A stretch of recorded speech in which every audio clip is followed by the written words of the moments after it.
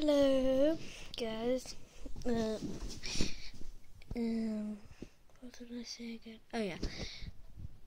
This is just a short video, but I found out um, on Granny, if you play any mode and anything like that, you know, you can go to the garage, and I know how to lock yourself in the machine that puts gas. I think it's called a sauna you can lock, I know how to lock yourself in there.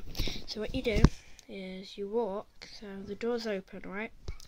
You walk towards it, in between it, so, so you're like in between it, the lock thing and then the switch. So what you can do is you can close the door on yourself. You'll be half in and half out. You can make you can make the wood come down in front of you, and you can lock yourself in.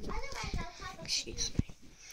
Yeah, my cousin on face playing a game. And that's it. So yeah, that's how you lock yourself in the sauna on Granny.